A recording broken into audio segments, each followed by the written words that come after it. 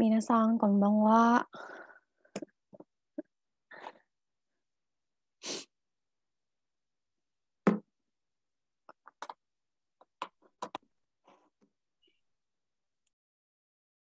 Wah, di Jepang udah jam 10 ya, Kak?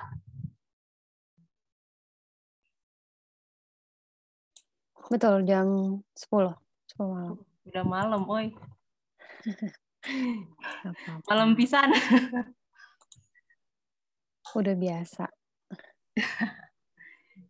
Nanti hostnya Devanya ya, Kak? Boleh, boleh. Nanti minta izin untuk share Oh, screen aja ya. Oke. Yang teman kakak itu ya, Kak? Enggak, aku maksudnya aku mau share screen. Aku ada Oh slide iya, materi. Ah. co-host. ke host. ah, kalau Eh, ya udah.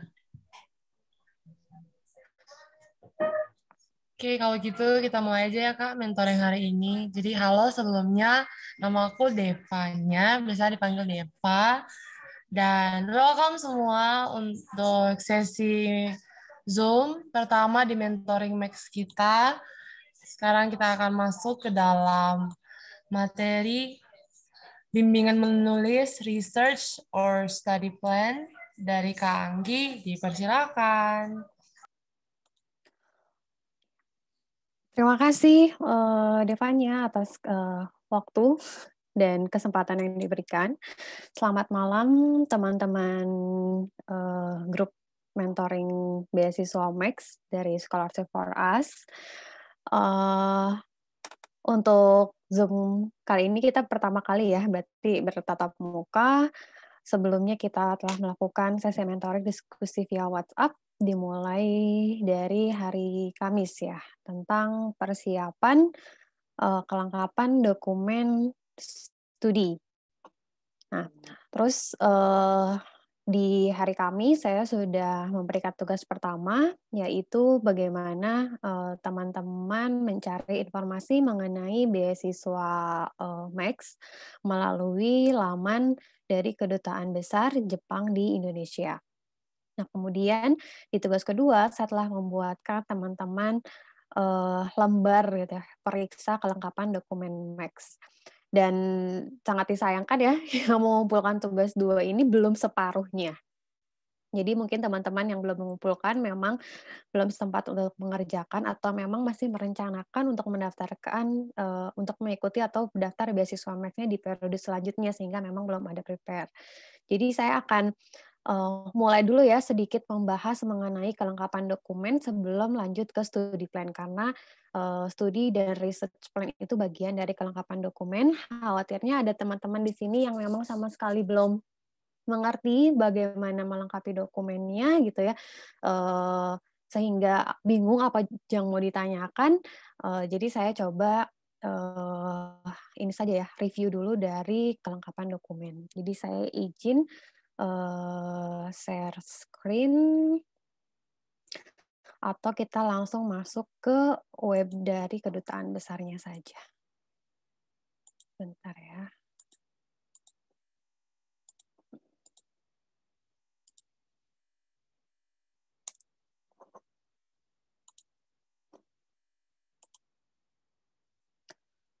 Hmm. Oke. Ya, sudah masuk ya? Masuk belum ya? Saya lagi buka webnya. Nah, udah masuk? Sudah Kak. Oke, nah jadi ini adalah halaman resmi dari Kedutaan Besar Jepang di Indonesia. Ini eh, halamannya ya, linknya ya, yang pernah saya bagikan. Di sini memuat banyak informasi, salah satunya adalah mem- eh, memuat informasi mengenai beasiswa Max. Jadi pengumuman beasiswa Max seluruhnya bisa kalian dapatkan di halaman ini. Gitu. Nah kemudian Max itu bagian dari informasi kebudayaan dan pendidikan gitu ya. Jadi pelayanan dari eh, informasi kebudayaan dan pendidikan dari kedutaan besar eh, Jepang di Indonesia. Kemudian ini ada informasi beasiswa Max yang lainnya nggak perlu dibaca. Nah di sini teman-teman bisa melihat ya. Jadi ada program-program beasiswa Max. Yang pertama itu adalah research student. Research student ini bisa kalian baca ya kalau diklik langsung ada keterangannya. Ini untuk program S2 dan program S3 S3. Uh, ini program non degree gitu ya, research student ini. Kemudian uh, bisa disebut juga ini juga beasiswa Max G2G jadi government to government. Terus kemudian ada research uh, student ini yang U2U ini university to university. Nah, kalau ini lebih lebih ke langsung uh, degree gitu ya. Jadi uh, langsung program master ataupun program doktoral. Kalau yang research student biasanya dia non degree dulu, jadi memang research student seperti internship gitu ya. Kalau enggak magang di lab sebelum memulai program degree, uh, program master ataupun program doktoral. Kemudian ada program undergraduate, di sini kubu. Kemudian ini ada program College of Technology atau KOSEN. Ini lebih kayak program diploma gitu. Kemudian uh, ada specialized training college atau senshu, ada teacher training, ada Japanese uh, study juga gitu. Nah ini tergantung teman-teman mana sih kebutuhannya. Tapi saya melihat gitu ya member dari grup ini uh, adalah teman-teman yang mau melanjutkan studi uh, dari SMA ke S1 berarti mengambil program Gakubu berarti undergraduate uh, yang mana uh, program itu adalah lima tahun. Jadi satu tahun program bahasa dan empat tahun program uh, eh, S1-nya gitu ya di universitas. Kemudian research student uh, ini untuk yang mau S2, jadi sudah lulus S1 mau S2 maupun S3. Kemudian juga untuk research student U2U, jadi max U2U. Kebanyakan yang U2U itu adalah untuk yang program doktoral ya, kalau saya lihat di grup member ini. Nah, kita ambil contoh saja, yang paling banyak itu adalah untuk mengambil program research student atau teman-teman yang akan menyelesaikan program S1-nya atau sudah sudah selesai program S1-nya dan akan melanjutkan ke program uh, eh, S2 maupun sudah menyelesaikan program S2-nya kemudian akan melanjutkan program S3 dengan uh, mengambil program research student dulu gitu ya atau mengambil program uh, beasiswa Max G2G. Nah, di sini ada jadwal penyeleksian. Jadi yang harus kalian ingat itu pasti masa pendaftaran ya, deadline-nya. Untuk tahun ini 7 Mei. Karena untuk program yang Max G2G ini hanya dibuka satu tahun sekali. Biasanya dibuka di bulan April untuk uh, kuliah atau enggak intek di bulan April tahun berikutnya. Ini ada fasilitas yang bisa teman-teman dapatkan. Kemudian yang paling penting ketika teman-teman memulai gitu atau enggak punya keinginan untuk mengikuti seleksi beasiswa Max adalah pastikan teman-teman telah memenuhi seluruh persyaratan yang diminta. Jadi di sini untuk program research student, berarti untuk untuk yang S2 ke S3, dari poin 1 sampai nomor 9 itu harus wajib memenuhi. Jadi kalau salah satu tidak memenuhi, maka uh, bisa dikatakan otomatis kayak disqualified gitu. Jadi akan didiskualifikasi. Jadi tidak akan lolos uh, saringan pertama tahap dokumentasi apa uh, saringan uh, dokumen saja sudah tidak akan lolos kalau ini semuanya tidak terpenuhi. Seperti contohnya ketika usianya di atas 34 tahun uh, ya sudah tidak akan lolos gitu kan. Terus kemudian ketika nilai bahasa Inggrisnya misalkan uh, TOEFL kalau nggak IELTS-nya di bawah dari nilai minimalnya itu pun juga sudah dipastikan ya tidak akan lolos. Jadi uh, untuk teman-teman yang masih merencanakan nanti mengikuti Max di 2022, yang paling penting adalah penuhi dulu seluruh persyaratannya. Kalau merasa uh, belum memenuhi kriteria kemampuan bahasa Inggris. Maka yang perlu dipersiapkan adalah ya ya persiapkan kemampuan bahasa Inggrisnya, mengikuti tes apa TOEFL atau IELTS gitu ya. Sebelum uh, masa pembukaan pendaftaran beasiswa periode berikutnya gitu. Terus kalau misalkan uh, IPK-nya uh, di sini minimal 3,2. Kalau misalkan masih kurang sedikit gitu kan, kalau enggak sudah 3,2 tapi masih di ada dua semester lagi ya dipastikan di semester uh, selanjutnya tuh uh, IPK-nya tetap minimal 3,2. Ya lebih baik ya lebih besar karena pasti akan ada proses seleksi kan. Kalau terlalu banyak orang yang daftar kan pasti akan ada grading gitu ya kayak dipilih gitu kan kayak uh, top listnya lah gitu kan yang masuk gitu. Jadi ya kalau misalkan kita uh, memenuhi syarat minimal tapi kita lebih ya kemungkinan lolosnya akan lebih besar. Itu. Nah, ketika persyaratan ini gitu ya sudah merasa kita sudah merasa semuanya sudah oke okay nih checklist terpenuhi maka selanjutnya jangan dulu pikirkan apa pun. Selanjutnya adalah lihat kelengkapan dokumen yang diperlukan untuk melakukan pendaftaran. Di sini kan sudah dijelaskan dengan detail gitu ya dan kemarin saya sudah bantu saya buatkan dalam bentuk wordnya supaya lebih enak gitu ya atau kalian bisa tulis di buku kalian gitu satu per satu Seperti di sini nomor satu adalah lembar print out email konfirmasi registrasi online. Nah, di sini kan sudah ada webnya registrasi online gitu ya. Di sini di daftar beasiswamax.com. Nah, ini harus dipastikan kalian isi nama, tanggal lahir, semuanya itu benar. Jangan sampai di sini berbeda dengan misalkan uh, apa ya paspor kalian gitu kan ataupun dengan data diri kalian yang lain gitu kan. Jadi harus disamakan. Jadi kalau misalkan uh, kalian ada kesalahan penulisan di ijazah atau apa itu dibetulkan dahulu gitu kan. Terus kayak dari KTP sama akte atau beda gitu kan nah, paspor itu harus disamakan. Jadi kayak nama dari mulai daftar uh, dan semua itu kalau bisa sama gitu ya kayak tanggal lahir apa pun jangan sampai ada salah penulisan karena nanti itu akan berefek kesulitan juga di akhirnya karena data itu pun akan dipakai jadi database kalian sampai dengan nanti kalau kalian keterima untuk pembuatan visa. Kemudian kalau sudah daftar untuk ini, untuk program uh, untuk program 2021 gitu ya, untuk 2022 ini, uh, kalian akan dapat nomor gitu ya, nomor registrasi online. Kemudian kalian harus download application form ini 2022. Nah ini jika saya buka, kalian bisa lihat uh, bentuk aplikasi form ini kalian bisa download dalam bentuk PDF. Ini bisa ini edited gitu ya di PDF ini tuh. Jadi kalian bisa edit langsung kalau kalian download uh, ataupun di sini terus bisa kalian isi nama gitu ya. Kemarin ada yang nanya di sini nama, surname, given name, middle name. Nah ini khusus banget itu ya buat orang Indonesia ada given name. Kalau normalnya tuh hanya dua, surname sama given name. Soalnya orang Jepang hanya terdiri dari dua nama surname dan given name ditulis aja short name-nya itu itu itu sebetulnya ada family name disebutnya ya marga. Jadi biasanya itu nama paling belakang. Saya nama Giregena Agustin, short name saya tuh Agustin. Jadi saya biasanya dipanggilnya Miss Agustin. Gitu. Terus given name-nya itu adalah nama pertama atau first name. Jadi short name bukan first name-nya tapi melainkan nama belakang. Given name itu nama yang diberikan orang tua, sih namanya di pertama gitu kayak Anggi, terus saya ada middle name-nya Regiana gitu. Nah ini dipastikan sama nih paspor, KTP semuanya ini gitu. Jangan beda-beda. Kalau misalkan uh, kalian punya uh, empat nama nih nama anak-anak sekarang misalnya panjang-panjang tetap sure name pastikan nama yang paling belakang given name itu nama paling awal kalian bisa tulis middle, name-nya dua misalkan gitu. Jadi misalkan kalau saya namanya Anggi Regiana Citra Agustin. Jadi ditulis Agustin Anggi Regiana Citra gitu. Di sininya dua nama gitu. Jangan sampai karena di sini kolomnya tiga kalian isi tiga padahal kalian namanya ada empat gitu ya. Terus kalian hilangin nanti tuh beda sama paspor dan segala macam itu jangan sampai ya. Jadi samakan semuanya. kayak di sini gender gitu ya kayak female terus ini mayoritas satu single atau married kalau single single nationality Indonesia Indonesia nah ini edit gitu kalian bisa isi terus uh, nationality gitu kan kita Japanese atau bukan uh,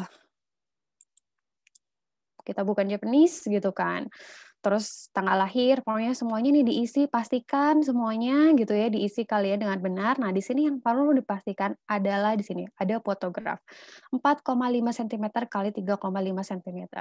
Terus dijelaskan gitu ya di sebelumnya, di informasi beasiswa sebelumnya, uh, pas foto formal gitu kan, terus uh, setengah badan latar fotonya warna bebas, tapi polos gitu ya, jangan di foto box ya kalau bisa.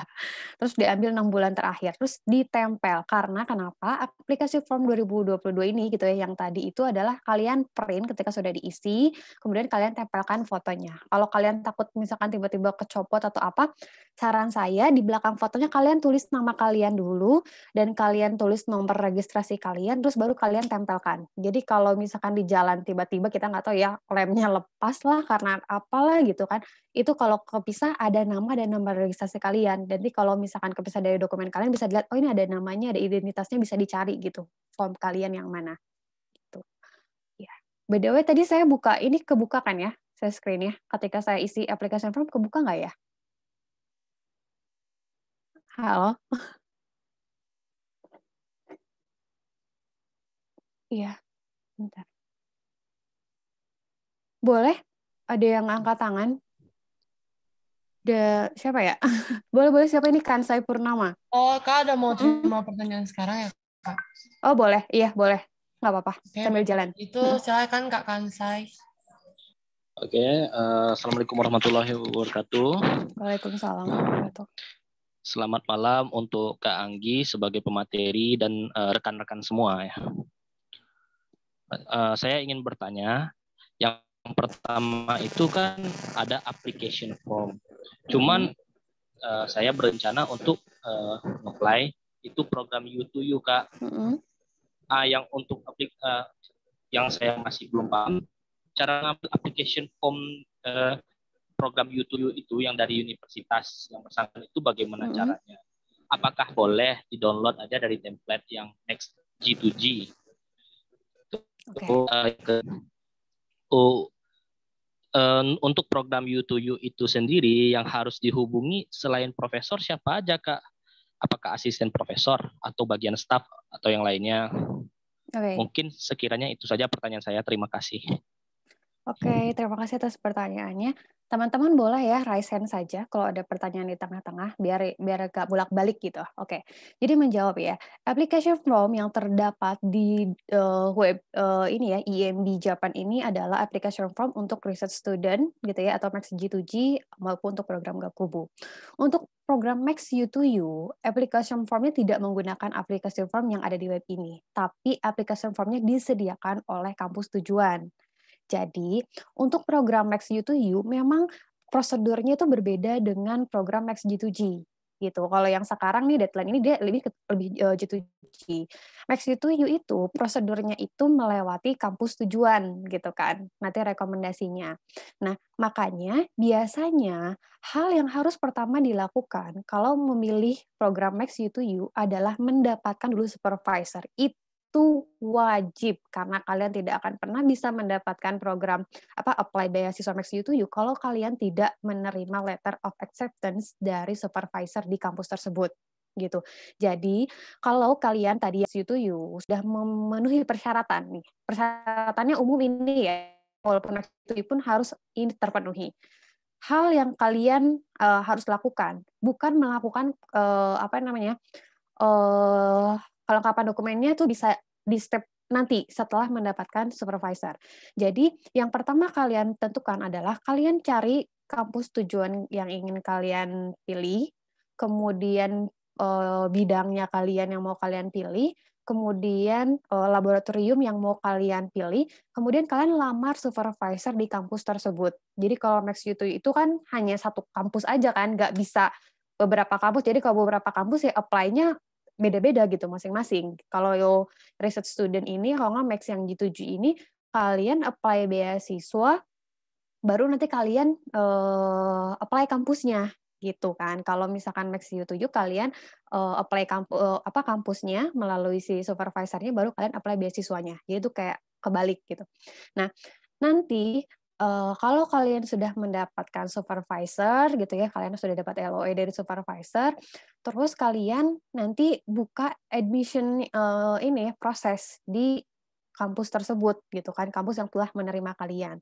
Dan itu bisa dimulai dari meminta pertolongan atau bantuan dari supervisor kita. Jadi kalau kita sudah dapat LOE kan sebetulnya itu kayak uh, berapa persen gitu ya, kayak udah 50 persen kita sudah menjadi mahasiswa kampus tersebut sebetulnya gitu kan terus kita bisa minta tolong gitu kan uh, apa namanya kayak dihubungkan dengan bagian pendaftaran untuk beasiswa Max gitu. Biasanya nanti akan diarahkan atau nanti kayak oh nanti kalau kita udah tahu sih ada webnya sendiri gitu ya, ada ada halaman pendaftarannya gitu ya, pendaftarannya.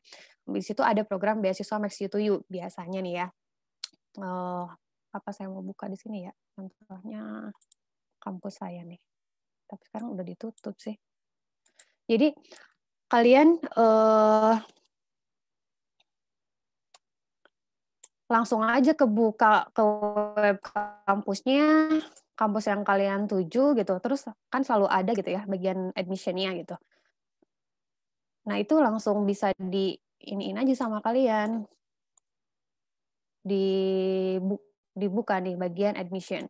Terus biasanya ada uh, program apa namanya tuh beasiswa gitu. Karena ini udah nggak dibuka ya. Ini ada program beasiswa. Biasanya ini ada admission prosedur, uh, terus kemudian ada scholarship gitu ya. Yang bagian scholarshipnya itu apa? Misalkan Max to You itu kalian bisa buka langsung di situ karena di situ nanti bisa udah ada formnya. Jadi kalian download formnya itu adalah di kampus tujuan kalian, bukan di web yang tadi IEMB Japan itu bedanya Max G2 dan G2G. Tapi sepengetahuan saya formulirnya hampir sama untuk apply beasiswa yang ini. Karena pada ujungnya pun dokumen formulir ini tuh nanti akan diserahkan ke PEX ke kementerian uh, untuk uh, apa ya untuk diseleksi di tingkat kementerian gitu kan seluruh negara gitu. Itu. Jadi kalau kalian misalkan mau punya waktu gitu kan biar kalian bisa tahu juga kalian bisa download aja gitu si form 2022 ini terus kalian bisa isi biar kalian juga tahu nih kira-kira gimana cara ngisinya gitu untuk sebagai gambaran bagaimana sih form uh, Max U to You tidak jauh beda kok gitu. Saya pun rasanya hampir sama gitu ya. Saya kan Max U to You, hampir sama bentuk formnya seperti yang ini. Mirip banget karena ujungnya sih ini ininya juga application from Japanese Government Scholarship cuman ini kan research student gitu. Misalkan dia G2G gitu. Nanti atasnya di situ misalkan uh, research student yang U2U. Percis kayak gini semuanya. Gitu. Cuman nanti downloadnya di kampus tujuan ya, gitu. Terus kemudian apa siapa yang harus dihubungi? Yang harus dihubungi itu tadi ya udah calon supervisor pilihan kalian. Hanya uh, supervisornya saja gitu, hanya profesor itu saja. Nanti kalau misalkan sudah diterima, eh, kita mendaftar pendaftaran beasiswa Max-nya kan online tuh dari web kampus. Sama nanti masukin email nanti ada nomor registrasi online email nanti kita buka account segala macam. Tahap-tahapannya itu per kampus sekarang udah online gitu ya. Ada form-form apa saja. Terus biasanya nanti ada kontak email uh, dari staff admission. Itu biasanya yang ngebantu international student untuk memenuhi kelengkapan dia pun biasanya akan mengirimkan email juga gitu kan sebagai panitia pendaftaran mahasiswa baru internasional gitu. Itu biasanya akan nge-email ke kita juga karena biasanya kalau untuk Next U to You eh, berkasnya dikirimkan ke kampus tujuan langsung di Jepang ya dari Indonesia dikirim ke Jepang. Kalau G2G kan dari dari kita ke kedutaan ya, ke kedutaan di Jakarta. Kalau misalkan U2U tuh langsung ke Jepang. Jadi eh, kita tuh akan dihubungi juga gitu apa dokumen yang harus dikirimkan. Jadi jangan khawatir sih kalau untuk pendaftaran kalau sudah dapat supervisor uh, insya Allah uh, akan dibantu gitu dan akan dihubungi juga oleh uh, kampus tujuan kita gitu untuk kelengkapan si beasiswa Max ini. Itu. Sudah cukup atau masih ada pertanyaan tadi uh, Mas Kansai? Uh, kalau yang uh, saya mau bertanya lagi untuk supervisor ini supervisor ini hmm. itu sama dengan profesor atau bagaimana kak? Iya, iya. Penjelasannya. Jadi profesor itu kan jabatan ya sebetulnya. Uh, kalau supervisor itu pembimbing, jadi bisa disebut supervisor atau advisor. Tapi uh, kita panggilnya kan profesor gitu. Profesor siapa? Itu adalah supervisor kita gitu. Jadi kayak mencari supervisor atau advisor ya kita manggilnya prof atau sensei sih. Kalau di sini kita udah jarang manggil profesor, kita panggilnya sensei gitu. Sama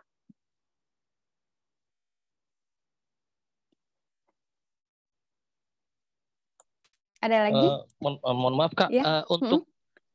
template apa kita apa nama cara menghubungi apa profesor atau supervisornya itu ada apa template-nya nggak kak? Cara chat yang benarnya gitu untuk awal-awal ya? gitu.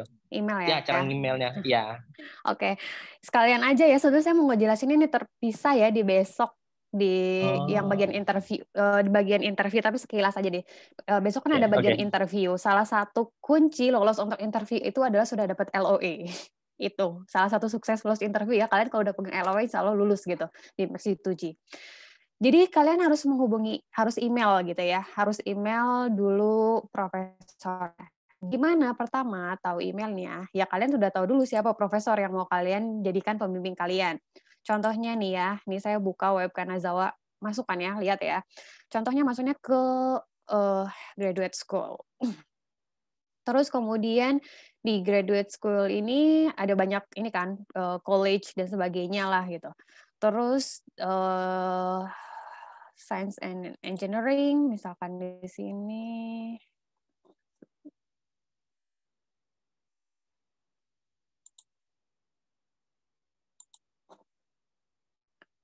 Hmm.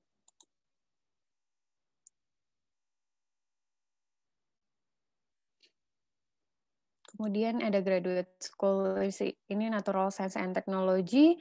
Terus kemudian kita cari fakultinya gitu ya akademik. Akademik division. Kalian divisionnya pilihnya apa? Ini division saya ya, natural, saya di natural system karena chemical engineering. Ini kan ada tuh, ada course-nya tuh kayak ini kayak lebih jurusan gitu. Saya di chemical engineering, terus kayak saya mau nyari sensei nih, mau nyari advisor, supervisor gitu, atau profesor. Karena saya linearnya di chemical engineering, satu S2 saya pilihnya yang mirip-mirip ke chemical engineering. Bisa aja sih di bioengineering, science, chemical engineering, tapi saya pengen di chemical engineering. Terus kemudian di sini kan ada nih research topik daripada si supervisornya gitu. Terus ya kalian itu bisa buka aja tinggal misalkan ini ya uh, Tamura Kazuhiro gitu ini Tamura Sensei gitu. Nah ini akan ada uh, eh, CV-nya gitu ya basicnya. Jadi kayak kalian mau ngepo ini dia lulusan mana sih S1, S2, S3-nya itu masih ada dari kapan, umurnya berapa, terus apa sih award yang pernah didapatkan. Terus research-nya apa nih specialitiesnya benar nggak sama kayak yang kalian oh iya terus kalian kepoin nih ininya uh, publikasinya gitu kan semuanya tuh ada gitu di sini dan saya rasa semua kampus di Jepang webnya ada informasi ini gitu kan terus uh, kelas yang dia ajar apa, sosial sini ada contribution gitu ya, international project segala macam itu kalian bisa kepoin bahkan biasanya setiap lab itu punya web lab sendiri gitu. Ini kan dari web kampus, nanti si lab itu punya web sendiri. Yang basicnya terus kalian ini ada lab website tuh kan. Oh ini harus bahasa Jepang. Terus udah kayak gitu, kalau misalkan email nanti kalian bisa langsung uh, tahu emailnya gitu, kontak ke emailnya. Gitu. Nah ini kalian pilih ke email nanti langsung ada emailnya beliau gitu. Terus kalian ya udah kalian tinggal kirim tinggal kirim emailnya aja. Nah terus uh, udah dapat nih kontaknya, udah dapat uh, emailnya, kalian nyusun dulu. Jadi jangan langsung nulis gitu ya. Uh, ini kayak contoh emailnya gitu ya. Di sini ditujukan untuk siapa? Misalnya contoh kayak dia Profesor Akihiro Munemasa gitu. Di sini ada introduction kalian itu siapa gitu kan. Terus apa nih tujuan kalian gitu kan ada interest untuk studi atau di bawah bimbingannya terus apa segala macam gitulah ya intinya nggak email seperti itu ada poin-poin yang harus kalian sampaikan itu akan saya sampaikan detail besok gitu ya untuk cara nge-email profesor karena uh, ini juga penting uh, kalian harus dapat dulu LOE dari supervisor gitu ya atau dari profesor untuk bisa lolos tahap interview karena di Max G2G uh, kalian akan ditanya LOE itu ketika interview, bukan ketika pas kalian mendaftar di awal. Itu kayak gitu. Ada lagi yang mau ditanyakan? Oh, iya. Halo. Iya. Hmm, sih ada dari Eka dia hmm. tanya ada nggak contoh pengisian form yang sudah jadi Mungkin dari kakak juga bisa bantu atau gimana? Pengisian form yang sudah jadi. Sebentar. Kalau saat ini saya nggak punya pengisian form yang udah jadi ya, tapi uh, untuk di form ini gitu, ini tuh per numbernya itu uh, kalian lihat di uh, ini di uh, fact-nya MOU. Jadi kayak ini diisinya apa, ini diisinya apa gitu. Itu tuh udah ada, udah lengkap gitu. Kalau yang udah jadi kan berarti itu kan ada data diri itu ya personal gitu ya kalau di share. Jadi agak agak riskan gimana gitu ya. Nah kayak gitu. Jadi kalau kalian bingung ini isinya apa, itu ada keterangan lengkapnya. Kalian tinggal baca aja di informasi di poin pendaftaran ini terus kemudian di catatan ini ada informasinya kalian bisa baca jadi tambah di isi sini sih di sini di uh, fact di sini ada cara pengisian. Kebuka nggak ya di kalian ke share kan? Nah ini kondisi pembahasan nah ini pemberkasan. Nah ini pengisian formulir pendaftaran application form. Itu ada semuanya saya per numbernya gitu ya. Jadi pertanyaan-pertanyaan yang umum. Nah ini. Boleh ditulis tangan, boleh. Pengisian dokumen boleh dalam bahasa Indonesia, nggak boleh harus bahasa Inggris atau bahasa Jepang, memperbaiki kesalahan, ini semuanya ada. Poin-poinnya pas foto, placement preference, semuanya ada. Jadi saya rasa nggak perlu dicontohin ya, karena udah jelas banget sih di sini kayak udah bisa dijawab lah gitu dari dari fact yang di sini gitu. Itu. Kalau contoh saya belum uh, saya nggak punya gitu ya saya sekarang belum punya bisa aja sih saya kasih isi gitu ya tapi akhirnya datanya juga ngarang kan nggak mungkin saya pakai data real gitu ya saya share uh, data real gitu untuk yang di sini tuh gitu ada lagi yang mau ditanyakan? Kak, makasih. Semoga hmm. untuk Kak Reka menjawab ya. Nah, di sini ada juga Kak Ande, dia raise hand, mungkin bisa dipersilakan Kak. Iya, silakan. Ya, terima kasih eh, Teh Anggi dan juga panitia. Uh, pertama mau menanyakan, uh, suaranya jelas ya kak? Jelas. Jelas. Yang pertama mau menanyakan tentang uh, uh, dari research plan ya. Mm-hmm. Kemudian mm. yang kedua itu kadang di ya. Mm-hmm. Kita udah bikin research plan, tapi ketika kita uh, coba cari uh, di website itu ya tentang mm-hmm. uh, advisor gitu, profesor, itu nggak mm-hmm. ada yang fit, nggak ada yang cocok tuh risetnya, walaupun mm-hmm. di dalam satu departemen. Nah, saya jadi saya ingin tanyakan tuh nanti sejauh mana sih research plan itu bakal digunakan pas kita studi gitu. Oke. Okay. Terus gimana tipsnya kalau menemukan problem kayak gitu gitu? Kita punya riset plan tapi nggak ada yang cocok atau kita harus cari lagi uh, di kampus lain yang profesornya bisa uh, risetnya sama dengan riset plan kita gitu. Makasih ya kak. Oke, okay, oke. Okay. Ini udah masuk ke research plan ya. Uh, sebetulnya saya udah punya materi tentang research plan. Jadi uh, akan saya jelaskan. Jadi saya jawab sekalian nanti ya. Karena ini kita masih belum ke research plan kan, kita masih di application form gitu. Jadi kalau di sini yang application form teman-teman udah nggak ada yang jawab. Terus kemudian saya akan masuk uh, ke dokumen yang selanjutnya gitu ya. Ini yang application form. Uh, Mas Ande nanti saya izin jawab nanti ya, karena saya akan ada materi tentang research plan dulu yang detail. Iya, Oke, okay? siap. Oke, okay. oke. Okay. Terima kasih. iya, ada lagi nggak sebelum saya dari application form nih pertanyaannya? Sebelum saya uh, pindah ke placement preference application form. Tadi dari kak kak ada yang angkat tangan juga sih dari kak Kansai. Halo, Assalamualaikum ya. Kak. Iya, Waalaikumsalam. ya, uh, saya mau nanya lagi Kak. Mm-hmm. Ah, untuk surat rekomendasi dari universitas itu, yang mm-hmm. untuk program U2U, apakah boleh saya ambil uh, template-nya dari yang uh, application yang di G2G gitu Kak? Boleh, boleh banget. Karena sebetulnya nggak ada standarnya kan, cuman hanya bantuan template. Jadi pakai template yang ini boleh boleh banget. Sama kok. Nanti kalau dikasih template dari U2U juga sama, boleh gitu ya. Oke, okay?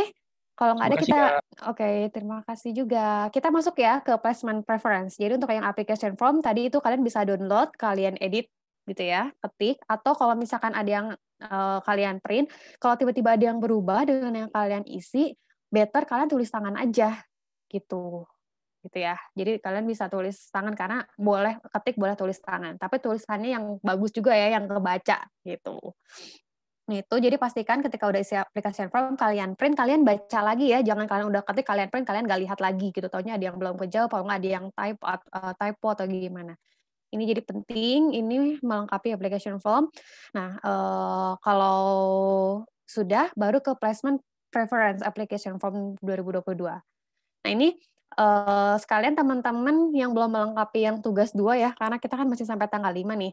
Kalian walaupun yang mau daftar nanti 2022 masih satu tahun lagi, kalian belajar dari sekarang ya, kalian download, kalian isi. Jadi nanti ketika kalian mau ikut nih untuk program berikutnya, kalian udah punya pengalaman. Seenggaknya sekarang kalian bisa nanya gitu, selagi di program ini gitu, dimanfaatkan. Sayang banget gitu kalau kalian nggak praktek, karena uh, kalian itu akan punya uh, apa ya jadi terbiasa gitu mengisi form aplikasi. Kalau kalian praktis, kalau kalian hanya mendengarkan teori, kalian baca saja nggak pernah langsung ngisinya, kalian nggak akan pernah tahu gitu. Jadi saya sarankan tugas dua kemarin dikerjakan agar kalian seenggaknya punya pengalaman praktis eh, apa ya melakukan persiapan kelengkapan dokumen walaupun tidak dikirimkan pada periode kali ini gitu. Nah ini untuk yang placement preference-nya juga sama ini edited juga ya. Ada surname, given name, middle name, ada gender, nationality, date of birth. Ini lebih simple field of study in Japan. Nah, ini tujuan kalian terus ada detailed field of study in Japan. Jadi gini. Jadi sama aja kayak di Indonesia. Ada fakultas, ada division, ada major. Jadi kayak saya field of study in Japan-nya, misalkan saya itu adalah Natural Science and Technology gitu kan, si Graduate School of Natural Science and Technology. Detail programnya saya di Chemical Engineering gitu kan. Jadi kayak di sini kalian tulis Chemical Engineering tapi uh, yang ininya field of study-nya tadi kalian itu graduate school misalkan of natural science and technology.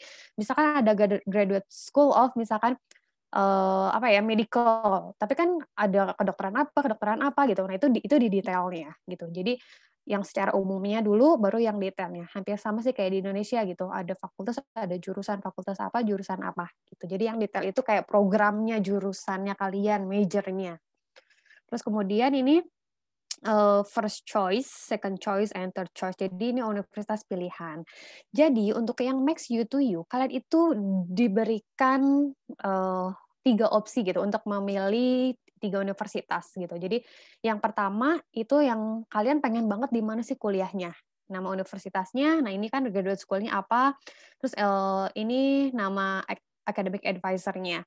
Terus kalau misalkan oh itu nggak keterima atau enggak uh, di situ kayaknya saingannya berat terus kalian pakai di jurusan yang sama terus kampus yang berbeda itu jadi second choice kalian itu boleh itu bisa gitu kan ya atau misalkan uh, akhirnya kalian mau kira-kira di jurusan yang ini kayaknya enggak deh gitu kan ya.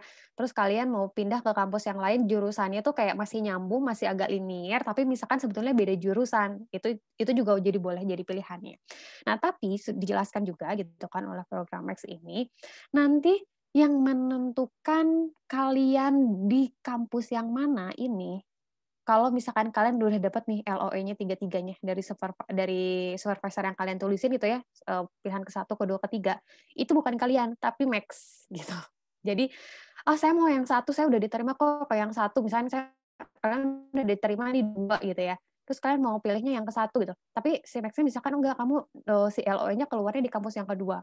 Kenapa? Karena si Max itu kalau untuk yang G2G itu kayak punya budget gitu loh. Kan tuition fee setiap kampus berbeda kayak gitu-gitu ya. Jadi dia tuh kayak ngerangkai budget gitu kayak wah kalau di kampus ini kemahalan nih, nggak bisa nih gitu kan. Jadi kayaknya dimasukin ke kampus kedua atau di kampus yang ke satu kuota si Max-nya itu kayak udah full gitu kan, udah full terus uh, daripada misalnya kalian di situ di kampus itu sebetulnya nggak bisa keterima beasiswanya walaupun kalian keterima kampusnya tapi beasiswanya nggak lolos jadi kayak ya udah di ke kampus kedua aja nih gitu kan yang masih masuk kuotanya dan kalian juga udah diterima sama kampusnya itu.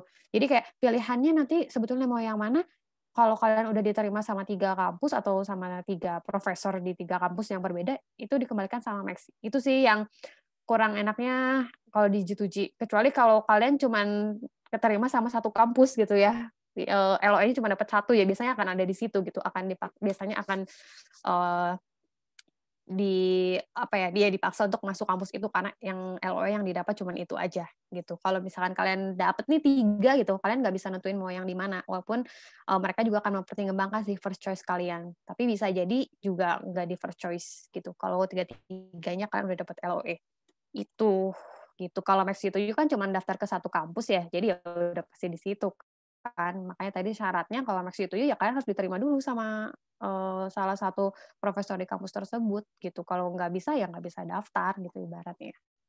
Itu Kemudian balik lagi sekarang ke field of study and research plan. Nah, di sini tuh ada dua ya. Jadi ada field of study plan and research plan, tapi dalam formulir yang sama. Di sini dijelaskan, formulir diisi dalam bahasa Inggris atau bahasa Jepang. Nih, rancangan penelitiannya meliputi research plan yang dibuat minimal mencakup unsur background, reason, objective, methodology, expected result, and reference.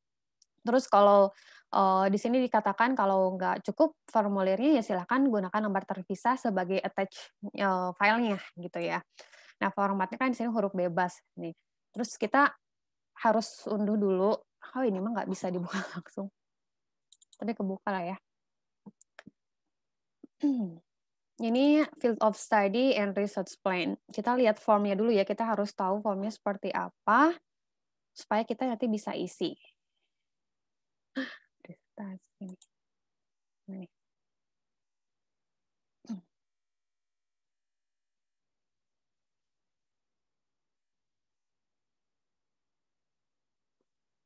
Oke. Kita sambil nunggu itu, uh, jadi uh, buat teman-teman gitu ya uh, yang sudah menyiapkan tadi research plan field of study uh, kalau bisa tadi ya memenuhi ininya uh, template itu dan tadi isi unsur yang ada yang wajib ada dari sananya. Nah di sini ya ini field of study and research plan sini ada nama, nationality, terus kemudian juga ini ada guide buat nulisnya. Nah ini ini kan cuman satu lembar kayak gini gitu ya. Nah, tapi uh, gimana sih kita bikin tadi field of study and research plan yang baik dan benar itu ya? Maka kita akan masuk selanjutnya ke materi tips menulis uh, study and research plan. Oke, okay. udah masuk belum ya ininya? Uh, kebaca belum? Uh, PowerPoint-nya? Udah, Oke. Okay. Satu pen. Oke.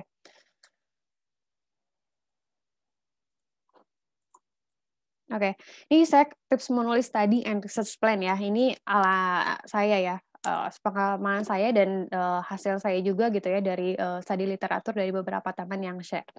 Yang pertama kalian harus tahu bedanya study and research plan karena itu dua item yang berbeda. Itu bukan satu item, itu dua item yang berbeda. Yang pertama adalah study plan atau field of study gitu kan ini adalah narasi yang membuat rencana studi jika berhasil diterima di kampus tujuan. Jadi esai ini tuh bentuknya ya esai bisa dikatakan esai atau atau narasi gitu ya yang isinya adalah menceritakan rencana kalian nih jika kalian diterima uh, atau enggak lolos beasiswa Max kemudian diterima di kampus tujuan kalian. Nah, uh, bedanya dengan research plan, research plan itu adalah milih lebih mirip proposal penelitian, yaitu dokumen yang digunakan dalam pengusulan proyek penelitian selama studi. Jelas beda ya. Jadi di sini study uh, field of study dan research plan. Kalau research plan itu sebutnya proposal penelitian gitu. Kalau study plan itu lebih mirip ke esai. Nah, kemudian, nah isi study plan nih, yang pertama kita akan bahas dulu ya, field of study atau study plan. Itu adalah narasi rencana studi step by step. Di sini dikatakan step by step berarti dari kalian memulai masuk sampai dengan kalian lulus. gitu. Jadi itu timetable sejak memulai sampai dengan selesai. Kalau kalian programnya dua tahun ya, itu kalian menceritakan selama dua tahun itu kalian mau ngapain gitu kan. Sampai dengan lulus bahkan setelah lulusnya. Terus kemudian uh, ini ya, uh, narasi rencana setelah selesai studi. Jadi komplit gitu dari mulai sampai finish and after finishnya apa itu isi dari study plan atau field of study.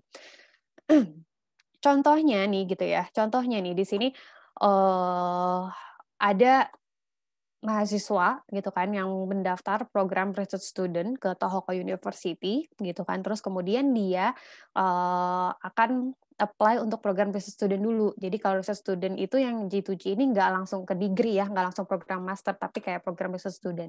Di sini dia ngejelasin dulu selama program research student 6 bulan gitu kan, dia mau ngapain aja nih dari April 2022 ke Oktober 2022 gitu kan.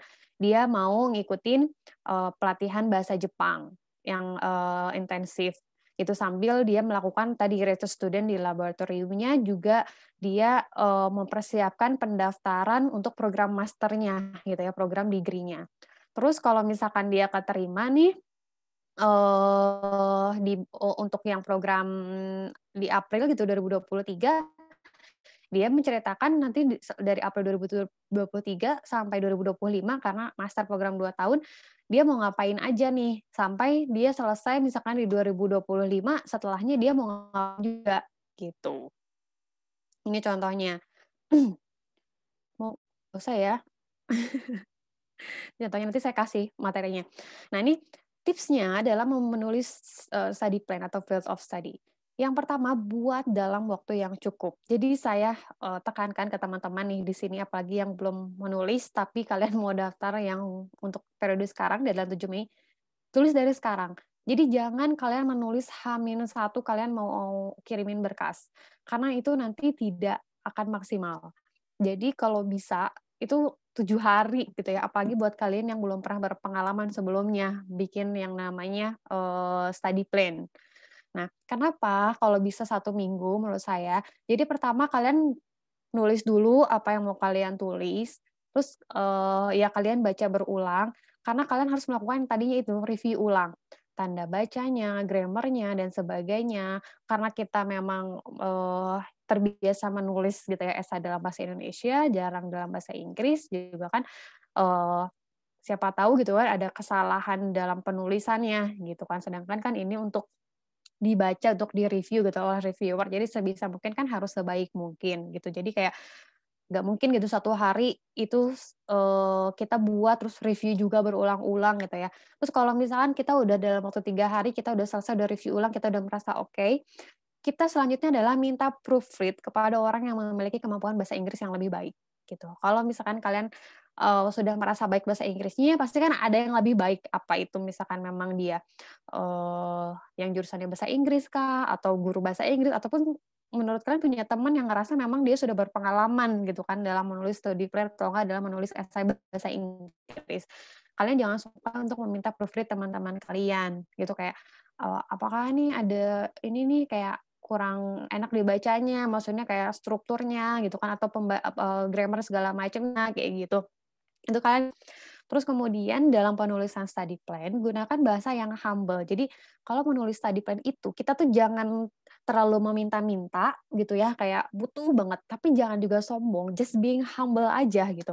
Jadi kalau ada kata kayak uh, apa ya, I think, kalau I think kan kayak oh, menurut saya itu lebih baik diganti dengan misalkan kayak uh, I believe. Terus misalkan kayak I want kan kayak ingin banget itu kayak uh, I want ingin gitu kan. Uh, itu lebih baik kayak I wish kalau nggak? I prefer gitu dibandingkan dengan I want terus kayak uh, I can lebih baik kayak I may. Jadi itu tuh walaupun kita sebetulnya bisa gitu kan ya I can we can gitu tapi kayak I may gitu. Dan uh, itu akan ngebuat reviewer yang bacanya tuh kayak kita tuh merendah gitu tapi bukan merendahkan diri gitu. Jadi humble dan itu akan melihat juga uh, secara tidak langsung karakter kita gitu kan sebagai penulisnya. Kayak oh ini kayaknya ini sebetulnya dia tuh kayak dari cara menulisnya gitu ya. Uh, dia punya kemampuan gitu kan. Tapi dia just humble aja di tulisannya itu gitu kan. Dibandingkan kalian songong gitu ibaratnya. Karena kita aja kalau ngelihat apa ya kita udah bisa lah ya kalau orang yang humble bragging gitu kan merendah padahal dia tuh meninggi. Udah kayak ih nggak enak gitu kan dibacanya. Itu pun juga yang akan terjadi uh, ketika kita mau study plan dibaca oleh reviewer gitu jadi pemilihan kata itu juga penting gitu ya. Kemudian uh, buat uh, research plan di halaman uh, terpisah atau dilampirkan ya. Jadi ini terpisah jadi study plan. Jadi kalau tadi formnya kan satu lembar, terus cuma satu per tiga halaman kan itu ada field of study sama ada research plan. Nah itu kalian enterin aja ke bawah, terus kalian attach aja research plan-nya di halaman selain yang tadi itu, gitu agar uh, kalian bisa memaksimalkan apa ya apa yang ingin kalian sampaikan dalam proposal riset kalian dan itu juga menunjukkan keseriusan kalian gitu. Kalau sepertiga halaman kalian nulis apa gitu kan di situ gitu. Cuma sedikit banget tidak banyak yang bisa kalian sampaikan. Terus kemudian apa sih isi research plan atau proposal research gitu kan? Yang pertama pasti adalah tema dan judul. Nah, ketika kalian menentukan tema dan judul, buatlah atau pilih tema dan judul yang tegas dan menarik. Dan satu kalimat tema atau judul ini harus menunjukkan isi pan, uh, penelitian itu sendiri gitu. Jadi jangan kayak judulnya aja ketika baca judul aja nggak tahu, eh kayak terlalu singkat gitu ya, kayak terlalu luas gitu kan, sehingga kayak sebetulnya apa yang diteliti itu juga nggak baik. Kalau terlalu detail juga nggak baik gitu kan. Jadi pilih aja yang uh, tegas dan menarik gitu ya dalam pemilihan judul. Terus biasanya dalam pemilihan tema dan judul juga biasanya nggak lebih dari 15 kata ya kalau tema atau judul. Itulah sama halnya ketika kalian kayak bikin skripsi gitu ya, menentukan tema dan judul. Atau kayak proposal skripsi, tugas akhir. Nah, itu hampir sama sih si research plan ini. Terus kemudian pasti harus ada ada unsur background atau latar latar belakang ini juga harus jelas dan mendukung mendukung. Jadi mendukung ini itu berisi fakta dan fenomena yang teramati. Jadi jangan katanya tapi nggak tahu katanya siapa harus ada referensinya harus ada citationnya karena nanti ada referensi ya kemudian kalau misalkan berisi fakta fakta yang mana dari mana datanya itu juga kalian harus cantumkan kalau ada fenomena yang teramati fenomena apa gitu kan ini kalian harus sampaikan dengan jelas walaupun kalau oh, kalian juga kalau sampaikan dengan jelas juga nggak boleh terlalu banyak juga ya karena uh, terbatas gitu ya untuk membuat research plan ini. Nggak boleh terlalu panjang juga, itu uh, akan uh, jadi minus juga. Terus kemudian purpose. Purpose di sini bukan tujuan, tapi purpose ini lebih ke maksud kalau di dalam research plan. Beda dengan tujuan. Tujuan itu justru lebih ke objektif sih sebetulnya kan kalau saya baca-baca. Nah, purpose ini adalah sesuatu yang lebih filosofis mendasari sebuah riset gitu. Jadi kayak untuk menyatakan maksud gitu kan dalam uh, purpose ini biasanya menggunakan kata-kata seperti kayak uh, apa ya discovering something gitu kan kalau nggak explain something evaluate apa gitu kan explicate apa infer atau sejenisnya lah kata-kata yang anonimnya sama dengan ini gitu kan nah eh, bedanya dengan eh, tujuan atau objektif kalau saya objektif di ruang lingkup jadi ini kayak tujuan yang lebih bentuk rinci daripada si purpose gitu. Jadi objektif ini menurut saya merupakan bentuk rinci dan lebih teknis dari purpose. Jadi kalau di uh, purpose itu hanya filosofisnya saja, kalau adjektif itu lebih rinci ke teknisnya gitu. Makanya kalau saya sih lebih kayak uh, dibatasi gitu ya, ada ruang lingkupnya karena rinci di situ. Kemudian metodologi. Nah, ini harus ada pastinya. Ini menjabarkan uh, cara atau metode gitu ya yang akan kalian gunakan. Kalau anak social science berarti misalkan oh kalian literatur review gitu kan. Jadi uh, hanya studi literatur saja, terus nggak ada eksperimen di situ. Kalaupun ada eksperimen, misalkan di situ kalian pengambil survei gitu kan wawancara langsung kalau nggak survei surveinya apa online atau segala macam itu kalian jelaskan atau enggak uh, forum group discussion atau kayak gimana. Kalau misalkan orang-orang yang teknik misalkan eksperimen literatur review iya eksperimen iya nah eksperimennya pakai metode apa metode siapa gitu kan. Kalau yang anak-anak sains murni gitu kan pakai metode literatur review terus misalkan pakai apa segala macam ada software segala macam itu kalian jabarkan di situ gitu kan. Dan yang tidak kalah penting dalam uh, metode ini adalah kalian uh, bikin bentuk jadwal gitu. Jadi kayak metodologi terus kalian bikin jadwal uh, ininya apa uh, researchnya kalian gitu kan kayak uh, first semester kalau nggak tiga bulan pertama itu kan apa apa apa selama tadi itu tiga tahun atau nggak dua tahun pro, uh, pro, uh, studi kalian gitu dalam bentuk tabel gitu kayak timetable gitu. Terus uh, setelah itu adalah reference Nah, referensi ini penting ya. Jadi teman-teman jangan sampai kalian bikin research plan nggak ada referensinya. Karena kenapa? Tadi ketika kalian buat background, penting kan kalian memberikan fakta dan data dan itu harus ada referensinya dari mana. Ini kebiasaan kadang orang Indonesia tuh uh, apa namanya tuh lupa mencantumkan tadi citationnya referensinya. Dan ingat referensinya kalaupun misalkan ya jangan referensi kayak kalian dapetnya dari internet tapi kalian harus lihat dulu ya jangan kayak oh dari blog dari apa itu ah jangan dame gitu kan.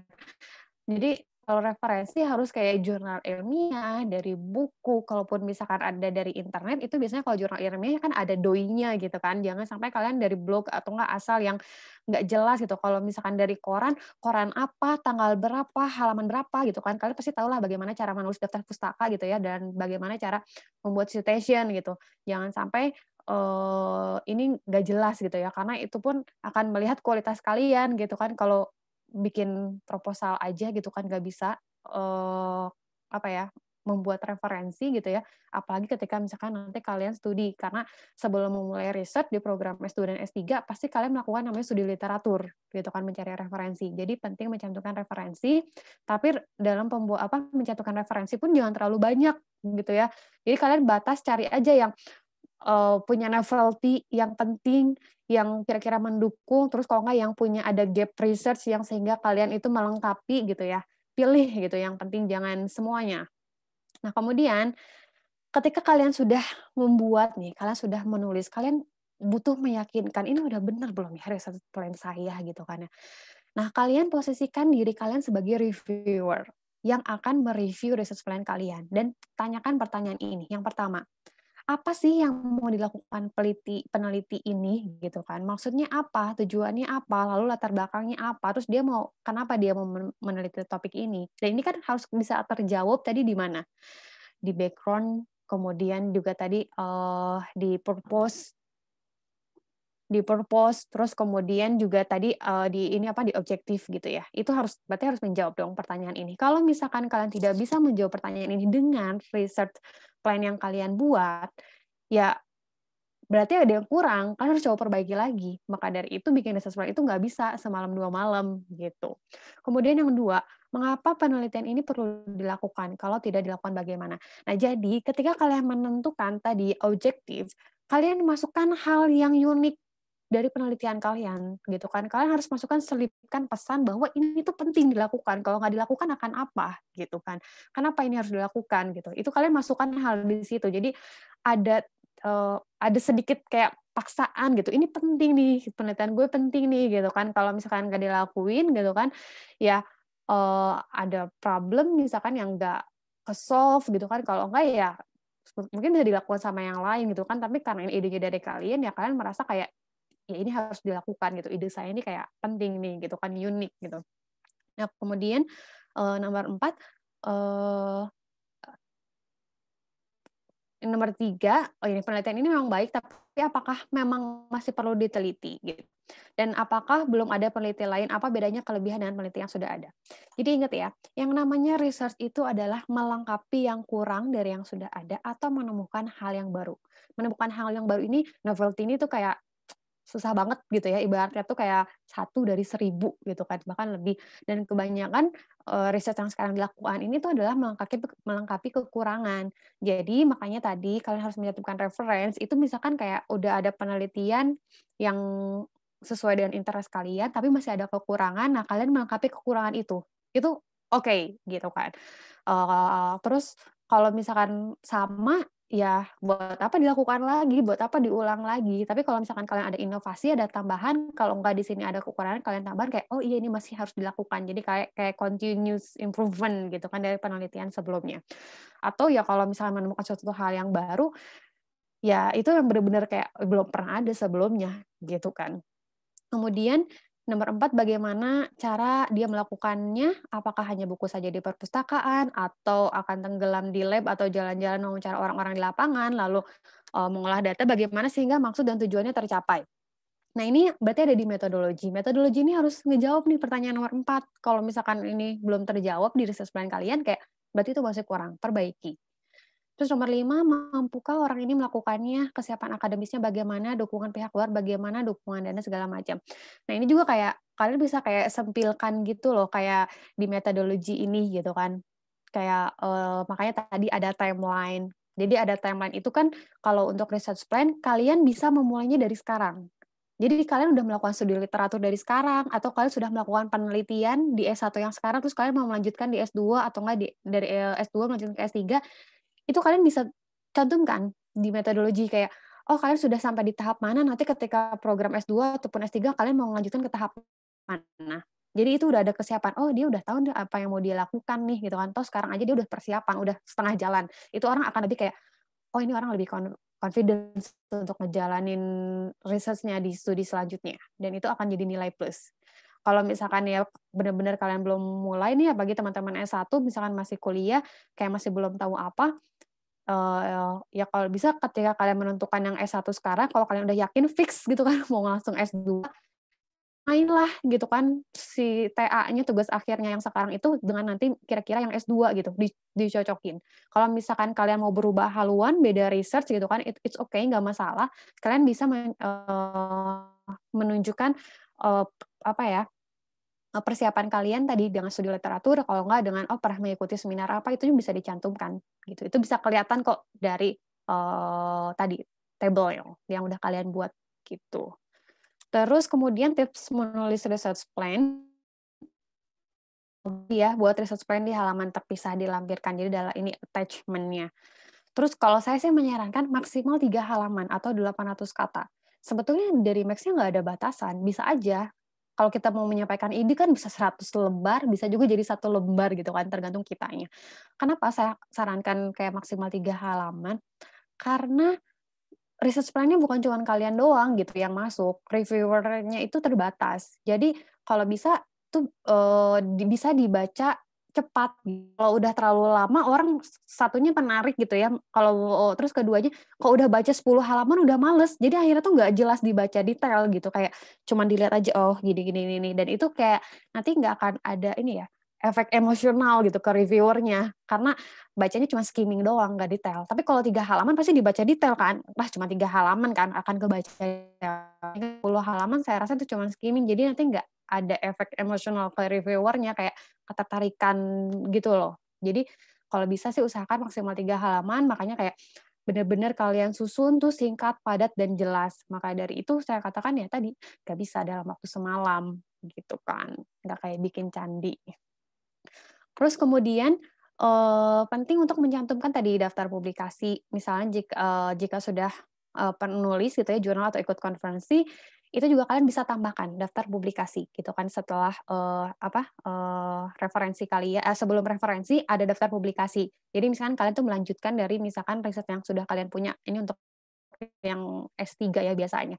Jadi kayak oh biasanya akan dilihat sih apa uh, yang sudah dilakukan kalau sama-sama gitu kan jadi uh, udah ngelihat track recordnya sih. Kayak ini pun di research plan ini ini menjadi salah satu poin plus untuk untuk naikin grade kalian. Sekali lagi ya, nggak semua yang memenuhi tadi persyaratan akan lolos. Pasti yang teratas yang akan lolos karena pasti ada batasan budget.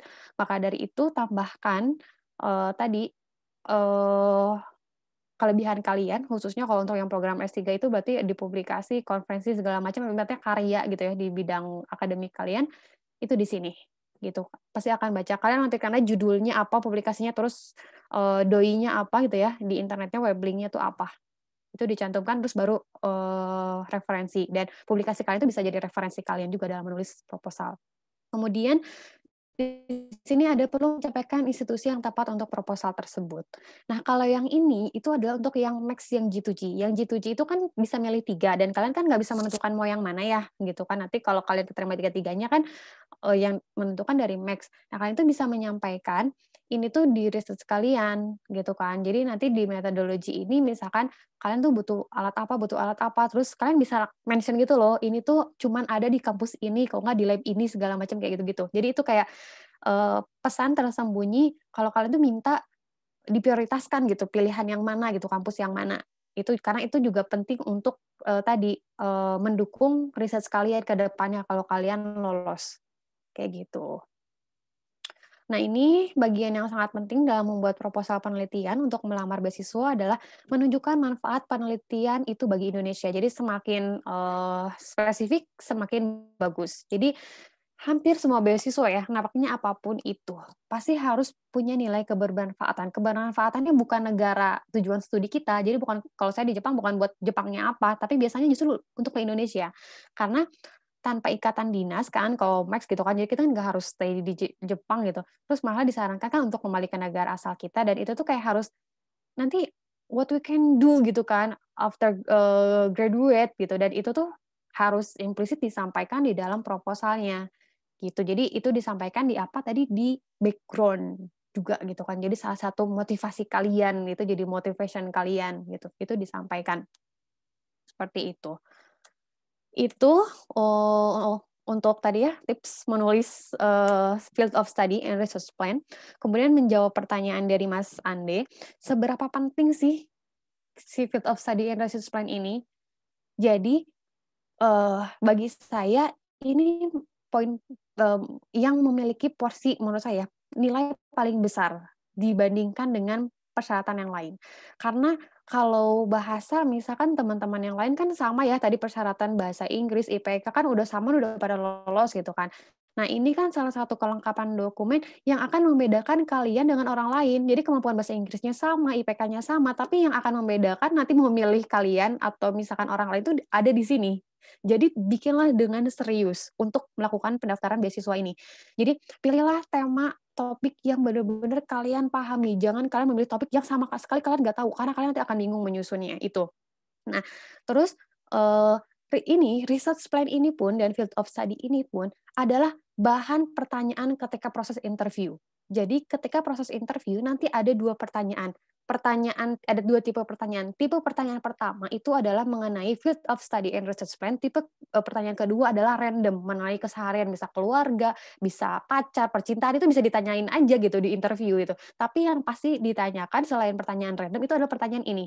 dan mereka bertanya dari mana dari membaca uh, field of study and research plan yang kalian buat gitu kalau kalian tidak menguasai ini terus ketika kalian ditanyakan terus misalkan yang ditanyakan biasanya akan ada yang berhubungan gitu ya dengan uh, bidang studi kalian.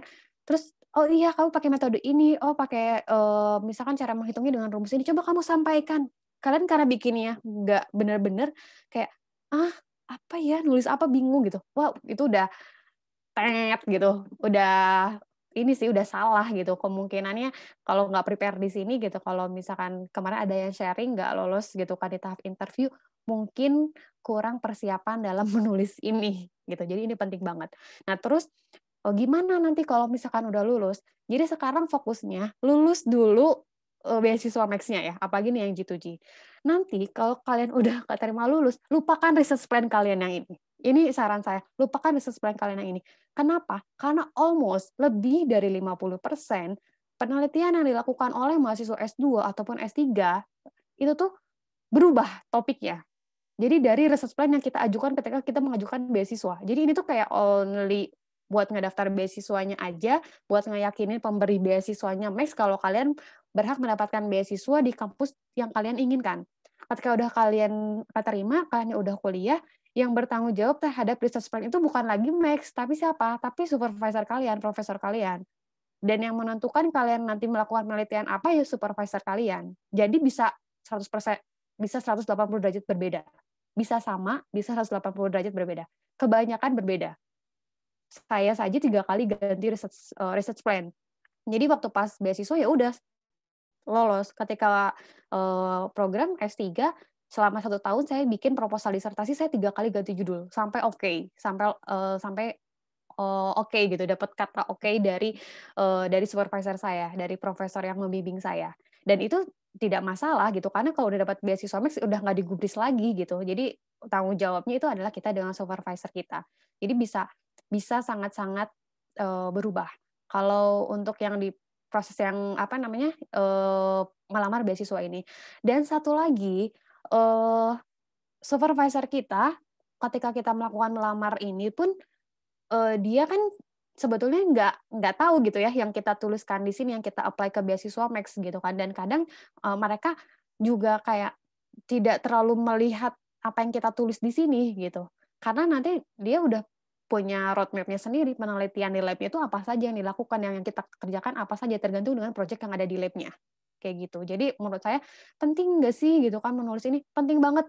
Ini tuh yang paling penting menurut saya. Kelengkapan yang paling penting. Jadi kalian uh, siapkan waktu yang paling banyak di dalam penulisan uh, field of study and research plan dibandingkan dengan kelengkapan yang lainnya gitu. Masalah nantinya kalian melakukan research ini ataupun tidak, uh, kalau kalian sudah uh, lulus gitu ya berubah itu udah nggak jadi masalah. Dan rata-rata sih berubah sesuai dengan keinginan si supervisornya sesuai dengan project kalau nggak uang yang ada di laboratoriumnya gitu ya kan mengikuti project yang ada gitu. Itu bisa topiknya bergeser atau sama sekali topiknya berubah seperti saya 180 derajat berubah gitu. Dan itu ya udah udah nggak berhubungan lagi dengan Max kalau kita udah masuk laboratorium. Kayak gitu. Menjawab nggak ya pertanyaannya Ande Makasih Teh. Udah terjawab. Terjawab. Oke. Okay. Tadi sekarang fokus aja uh, di bidang yang kita benar-benar ini ya Teh. Paham. Uh, pah apa sih pahami gitu ya. Iya, betul. Jadi ja, mm -mm, betul sekali. Jangan ke trigger sama riset dari profesor okay. yang kita uh, iya. ini ya bidik ya. Mm -mm, bidik. Jadi ininya apa aja sih namanya? Uh, apa ya? Ngiris-ngiris aja gitu maksudnya itu. Jadi yang research kita kan nanti kan ada tuh uh, profesor yang dituju gitu ya, labnya apa, jurusannya apa. Yang penting linear aja kayak ini masih topik dalam saya bidang teknik kimia, ini masih dalam topik bidang teknik kimia gitu. Walaupun sebetulnya beda gitu. Cuman kayak oh di lab itu masih nih ruang lingkupnya yang tadi saya uh, saya ceritakan ya kayak chemical engineering terus misalkan dia proses uh, reaksi gitu.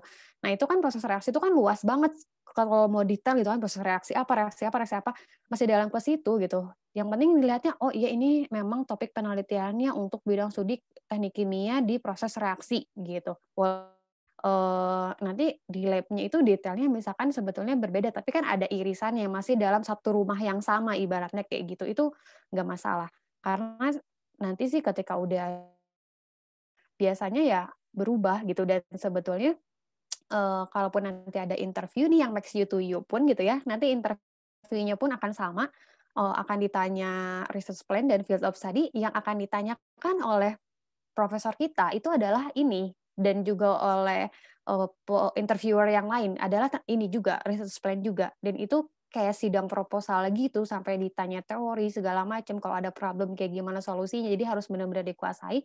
Dan buat mereka kalau itu misalkan sebetulnya nggak ada di proyeknya mereka buat mereka nggak masalah karena mereka tahu kalau udah jadi mahasiswanya gue nih nih mahasiswa gimana gue gitu kan ikut ikutin gue. Yang penting mereka tuh melihat menguji kemampuan kita menuliskan ide gitu kan menyampaikan terus uh, bagaimana menyampaikan idenya presentasi gitu ya ketika pas interview uh, ditanya. Kemudian uh, apa ya tahu bagaimana misalkan permasalahan dan solusinya gitu ya uh, ketika misalkan nanti itu dilakukan gitu. Jadi kayak bertanggung jawab terhadap ide yang kita punya. Dilihatnya itu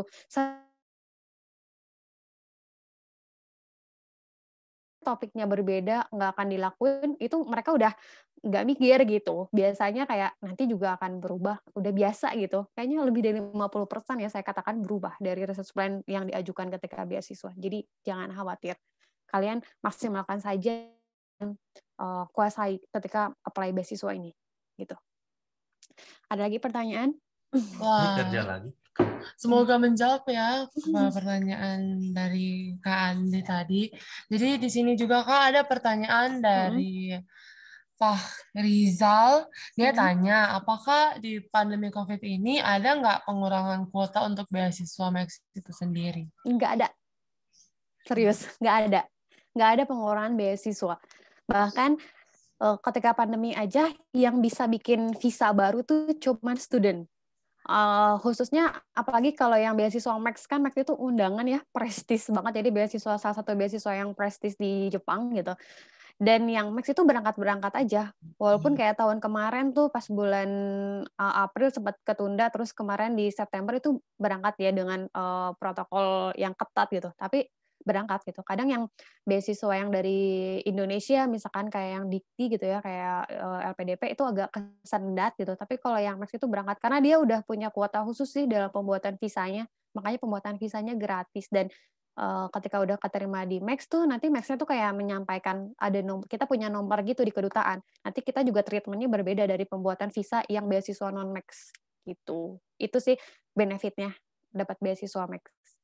Jadi jangan uh, patah semangat gitu ya. Gak ada pengurangan kuota kok karena pandemi ini.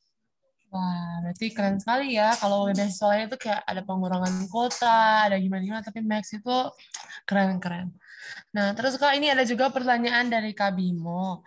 Dia bertanya, untuk publikasi itu apabila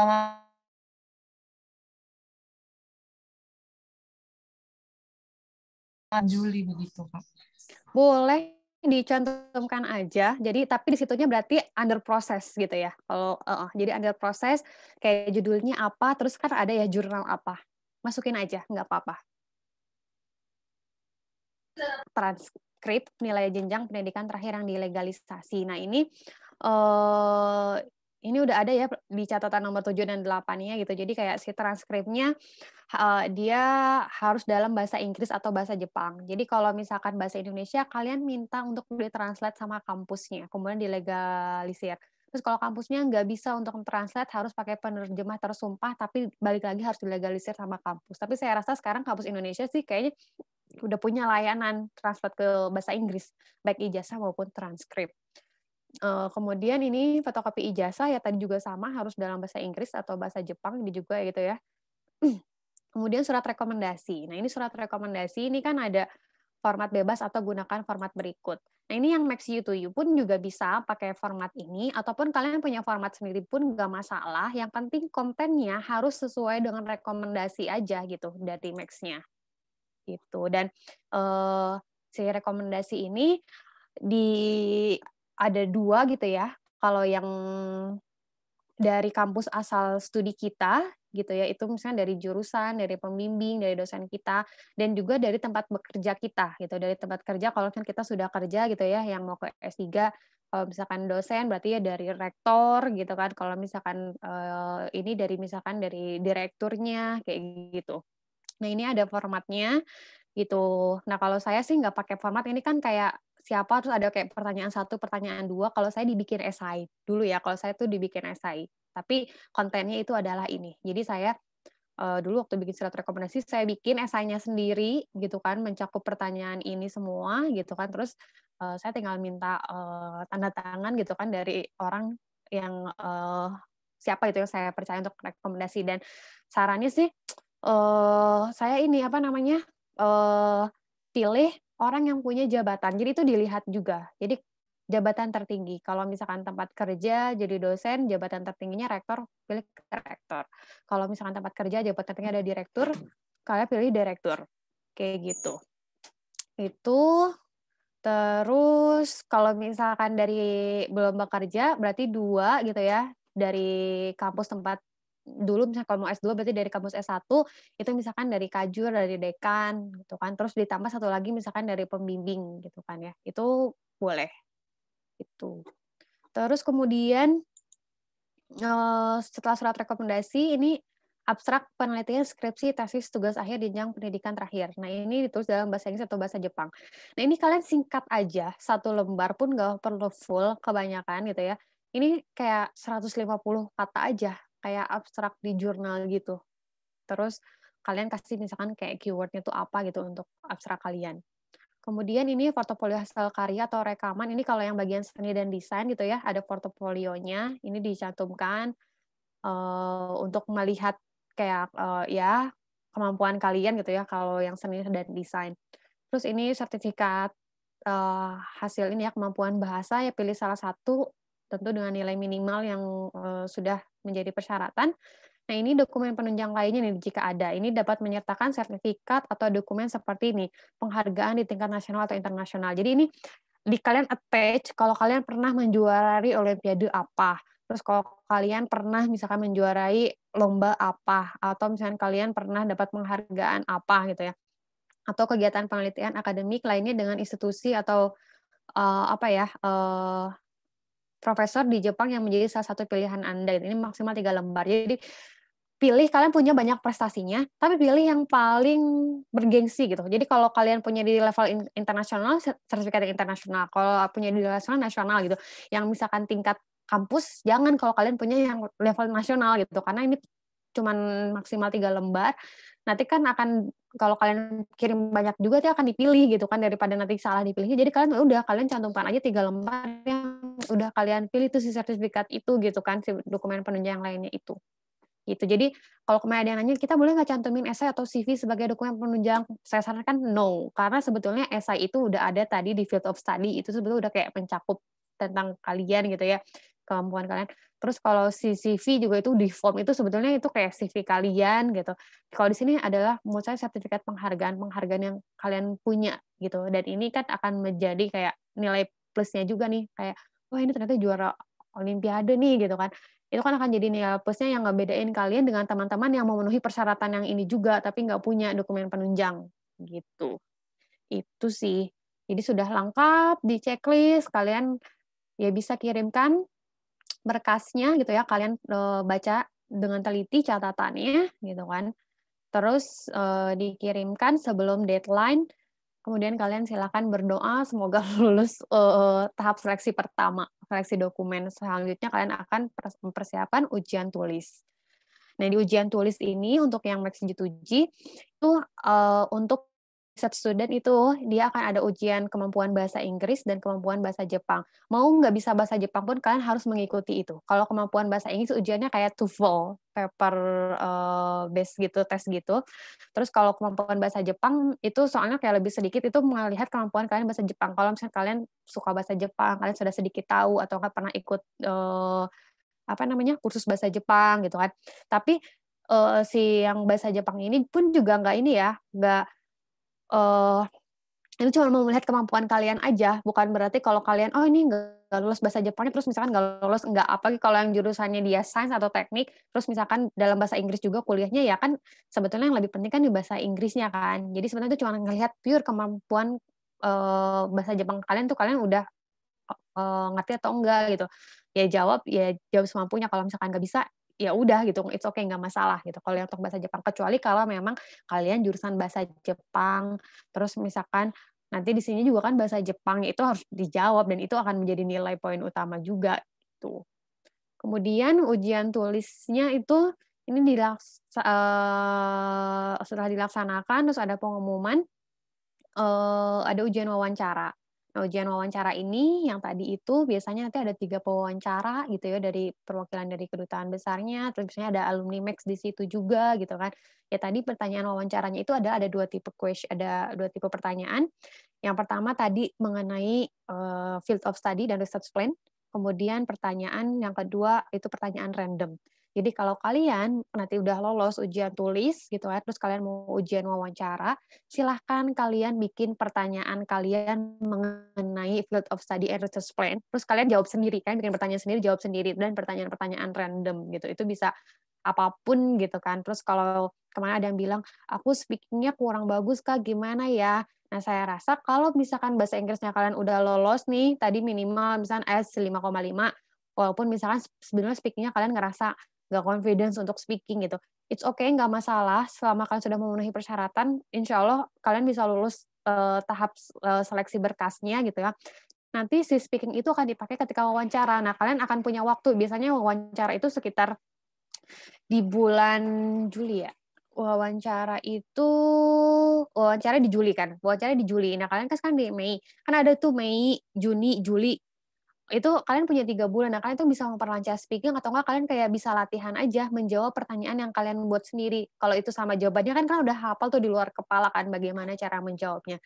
Dan setelah ujian wawancara ya udah gitu kan nanti kalian tinggal persiapan buat studinya gitu. Jadi kayak semua tuh bisa kalian prepare dan kalian maksimalkan gitu kan. Uh, kalau misalkan kalian udah persiapan dari awal gitu itu udah udah wawancara kalau lolos tes kesehatan berkas kalian akan dikirimkan ke uh, Max Jepang disaring gitu kan dengan semua negara gitu. Tapi kemungkinannya sih kalau udah lolos dari sini gitu ya di Max Jepangnya pun akan lolos walaupun ya tidak 100% jaminannya akan lolos gitu ya kalau ada sesuatu ya nggak tahu gitu tapi almost gitu ya yang sudah direkomendasikan oleh kedutaan besar negara ya akan lolos. Begitu juga untuk yang MaxU kalau sudah direkomendasikan oleh kampus ya harusnya lolos di Max Jepang ya. Itu mengenai melengkapi dokumen, saya harapkan teman-teman yang uh, ada di grup ini gitu ya melakukannya satu per satu gitu kan berlatih mengisi uh, semuanya belajar membuat karena ada tugas ya dari panitia yang harus dikumpulkan kan bikin field of study and research plan itu. Uh, jadi ya silahkan gitu ya kalian baca lagi balik lagi itu ke tugas satu ke web ini kalian baca satu per satu ini banyak banget gitu kan. Jadi kalau ada kayak ini kayak klik di sini nih kayak efek kalian klik baca. Kayak di sini ada PDF kalian klik kalian baca gitu. Jangan jangan skimming tapi bacalah secara detail. Karena saya yakin ketika kalian punya pertanyaan sesungguhnya di web ini udah punya jawabannya. Gitu. Kebanyakan gitu sih teman-teman. Kalau yang baru-baru gitu pak udah ada jawabannya. Makanya uh, baca dengan detail. Itu kalau dari saya materinya untuk malam ini untuk tips uh, menulisnya juga sudah saya sampaikan. Kalau ada yang mau ditanyakan uh, silakan karena masih ada waktunya Oke, baik. Terima kasih, Kak. Nah, memang luar biasa Kak Enggi ini. Sangat passionate dalam menjelaskan, sangat apa very thorough and everything just really good. Um, di sini Kak ada juga beberapa pertanyaan. Ada dari Kak Kansai juga. Kak Kansai bertanya, apakah program U2U boleh apply lebih dari satu universitas? Oke. Kalau yang untuk program uh, iya, untuk yang program U2U itu boleh apply. Jadi kayak misalkan apply di kampus ini gitu ya. Itu uh, tapi biasanya gitu ya, nanti tuh kalau yang di kampus itu akan ditanya, kalian apply ke kampus mana aja gitu loh. Jadi uh, kan ada kuota nih di beasiswa Max. Jadi setiap kampus di Jepang itu punya kuota beasiswa Max. Jadi kayak ada batasannya misalkan tahun ini berapa orang gitu kan uh, totalnya gitu. Nah, itu kalau yang di YouTube itu uh, saya ingat ada pertanyaan tuh uh, kampus yang kita itu mana lagi yang kita daftarin. terus kita ikut beasiswa uh, lagi atau enggak kayak gitu. Nah itu nanti jadi ini sih kayak wah ini jangan-jangan nanti kita jadi pilihan kedua nih, jadi yang kedua, jadi yang ketiga kan orang pengen jadi yang pertama ya gitu. gitu. Jadi uh, saya sarankan sih ya kalau misalkan memang sudah diterima oleh satu supervisor, terus kalian sudah merasa cocok, itu lanjut uh, lanjutkan sampai akhir. Karena kenapa? Itu juga akan uh, kalau kalian misalkan nggak email nih ketiga supervisor atau nggak ketiga ya supervisor uh, calon pembimbing kalian. Terus misalkan semuanya tuh oke, okay. Misalkan kan kalian harus mau milih salah satu ya, nggak mungkin diterima dua-duanya karena sebelum daftar beasiswa Max U to You kalian pasti harus minta LOE dari salah satu profesor.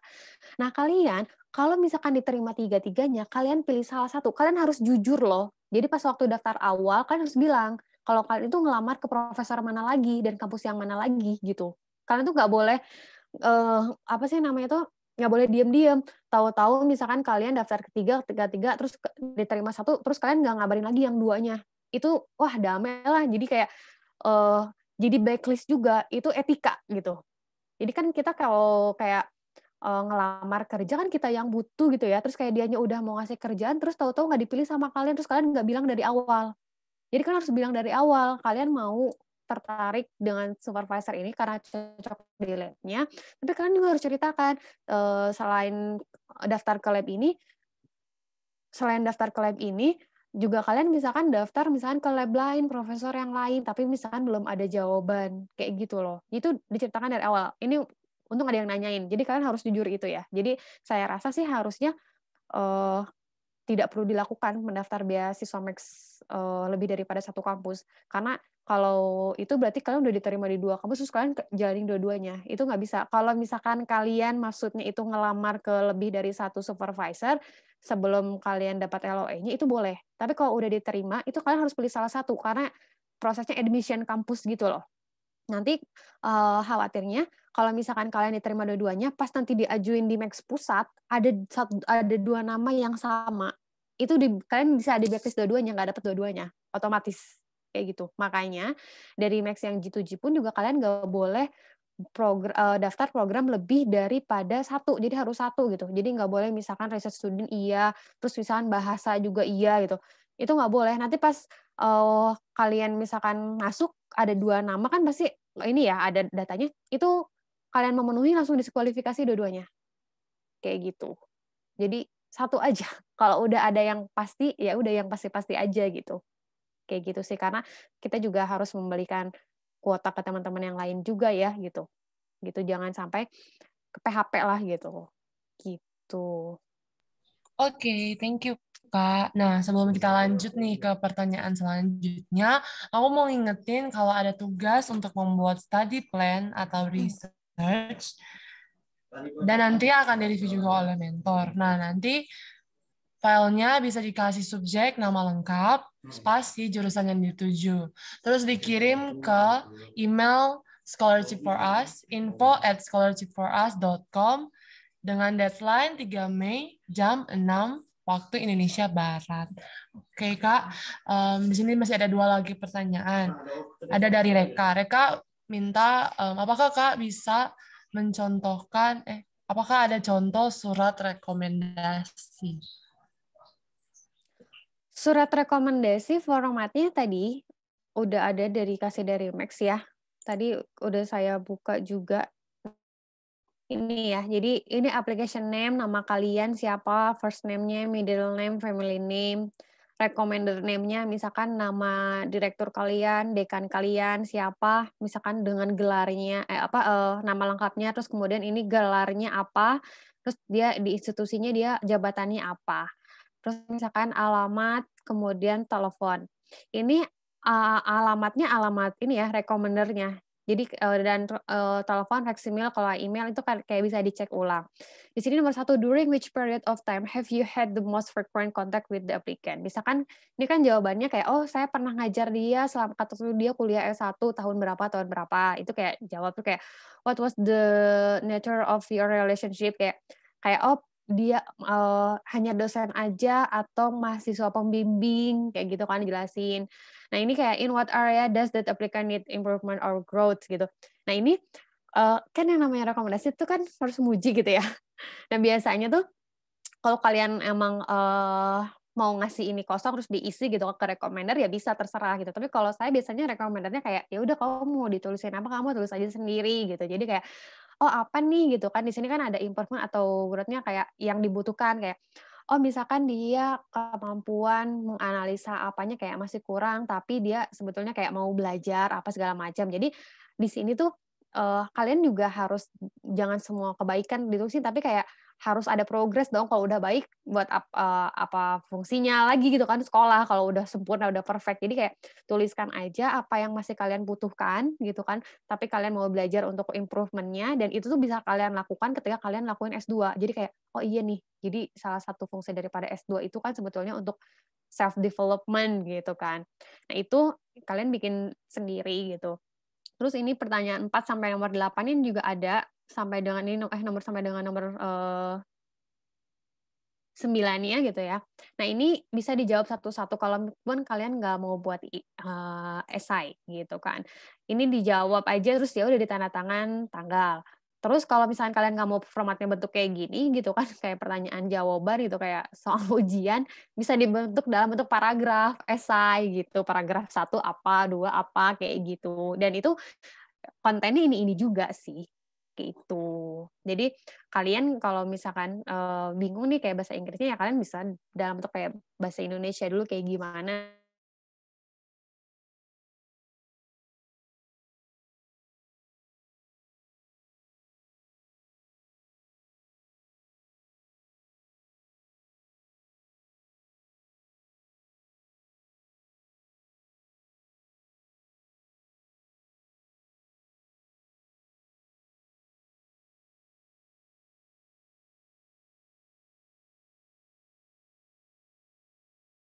kalau contoh kayak gitu belum tentu ngejawab si sembilan pertanyaan ini gitu. Jadi menurut saya kalian fokus di sini aja, terus kalian jawab sendiri aja, terus kalian mau menunjukin kelebihan kalian apa, terus kalian mau kalian juga tunjukin juga kekurangan yang mau kalian imp, uh, apa sih namanya tuh uh, perbaiki gitu ya, uh, improvement yang mau kalian lakukan apa, gitu. Dan itu kan yang paling tahu kan diri kalian kan, kayak gitu, gitu sih, itu.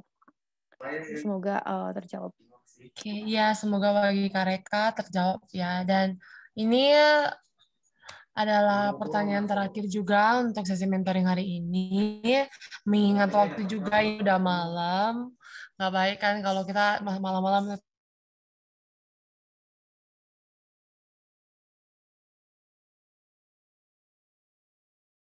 yang telah ada ya.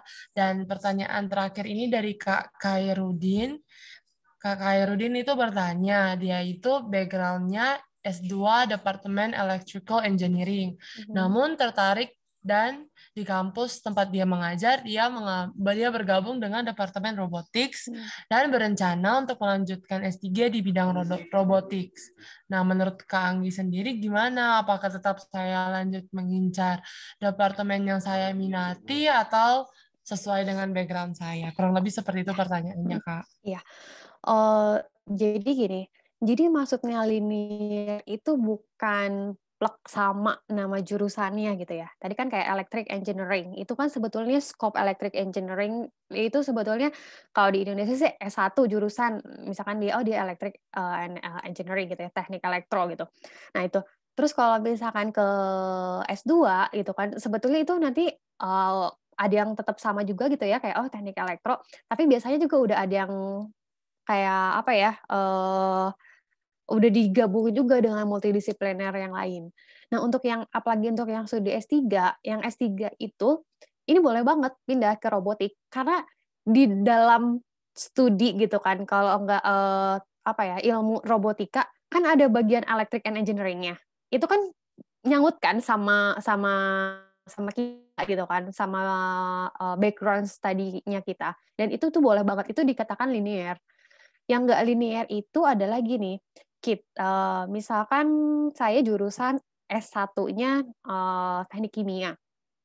Terus ke yang S2 terus karena saya misalkan karena saya seneng gambar misalkan kayak gitu. Terus juga saya punya kemampuan gambar nih saya menang nih juara apa lukisan saya bagus gitu kan saya segala macem gitu. Udah oh oke okay lah. Terus saya mau ngambil S2-nya misalkan di misalkan di ini apa sih namanya tuh di arsitek gitu. Kan saya tuh nggak punya background sama sekali di dunia arsitek itu udah nggak linear. Meskipun sebetulnya saya punya talent di situ tapi itu nggak nyambung sama sekali gitu. Kita itu dikatakan yang tidak linear.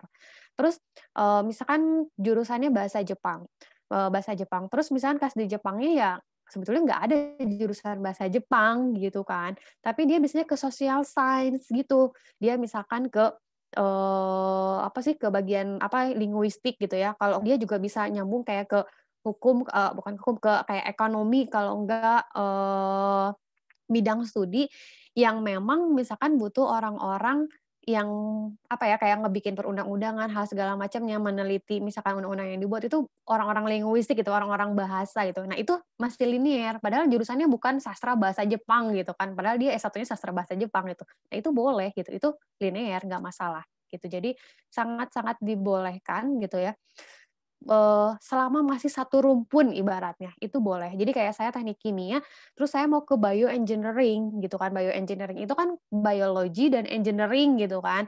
Itu uh, saya di teknik kimia ada saya belajar engineeringnya juga belajar biologinya cuma basic saya nggak detail dibandingkan dengan S1 orang biologi gitu kan. Tapi itu satu rumpun yang sama gitu saya ada ada scope saya background di uh, teknik kimia gitu kan.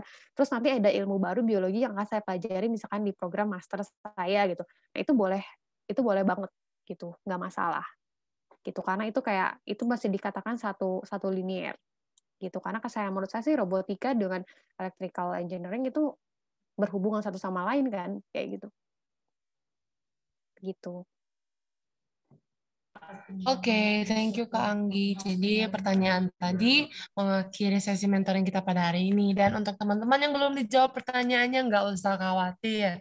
Tinggal kalian tanya aja langsung di grup WhatsApp, pasti akan dijawab kok, ya kan Kak? Bener. Okay. Jadi kalau gitu, aku cuma mau ingetin sekali lagi, jangan lupa ada tugas untuk menulis study and research plan dengan deadline tanggal 3 jam 6 waktu Indonesia Barat. Jadi kirimnya itu di email info at scholarshipforus.com. Oke, okay? dan thank you Kak Anggi. Ya, sama-sama. See you in, in mentoring besok, Kak. Betul, ya. Sampai ketemu besok.